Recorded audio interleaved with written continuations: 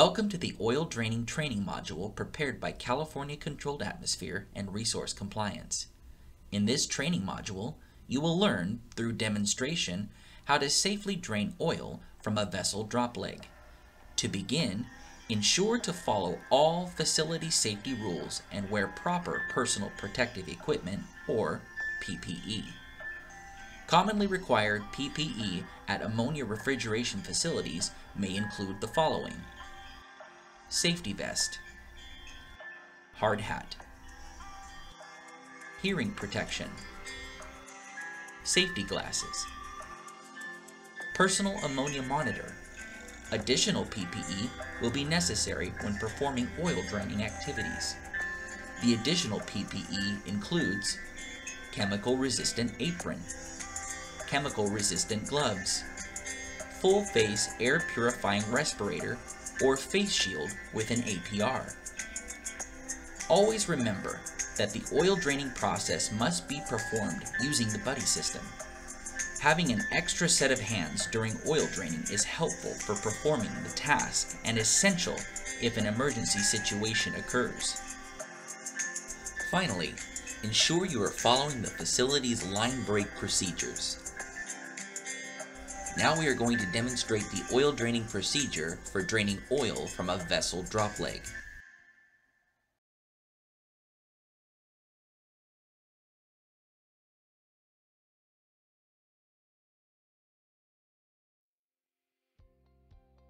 Step 1. Assemble the required equipment. If the room where oil is being drained is equipped with an exhaust ventilation system, turn the fan on. A plastic drum, pressure rated hose with spring return valve on one end and heavy weight on the other, and any necessary wrenches must be available. Draining oil is a line break activity that must only be performed under the direct supervision of a qualified refrigeration technician. Ensure to follow the facility's line break procedure. Step 2. Check the oil drain valve to make sure that it is closed tightly. Step 3. Slowly remove the oil drain valve plug, being careful to note that if there is any ammonia pressure behind it. The plug should feel loose. If it is tight or feels like it is cross-threaded, it may have ammonia pressure behind it.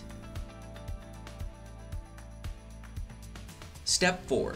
If not permanently installed, connect a spring return valve and drain hose to the oil pot oil drain valve.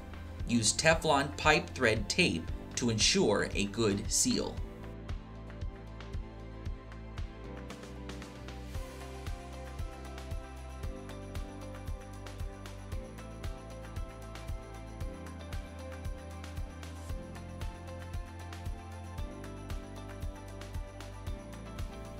Step 5. Place the weighted drain hose or rigid pipe end in a plastic drum approximately 25% full of water. Position the drum a distance away from the oil drain valve. Step 6. Crack the system oil drain valve and open the spring return valve until oil starts to flow.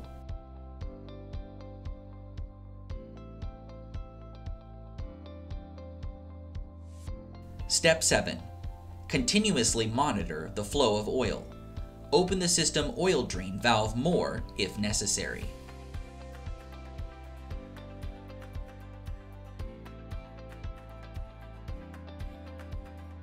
Step 8.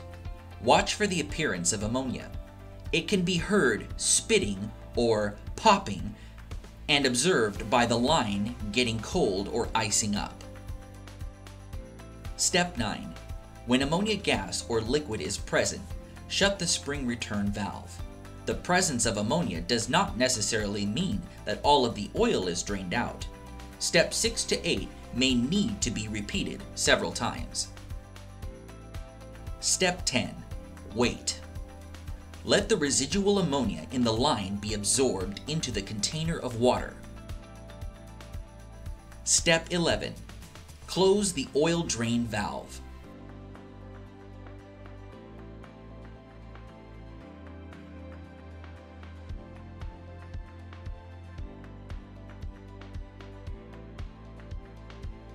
Step 12. Disconnect the hose or rigid pipe from the oil drain valve.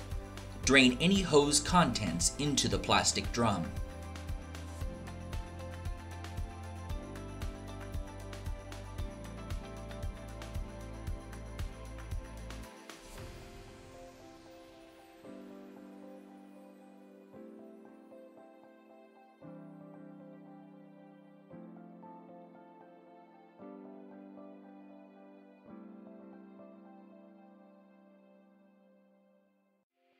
Step 13. Reinstall the pipe plug in the oil drain valve. Use Teflon pipe thread tape to ensure a good seal. At this point, the procedure for draining oil from a vessel drop leg is complete. This concludes the oil draining training module prepared by California Controlled Atmosphere and Resource Compliance. Thank you for your participation.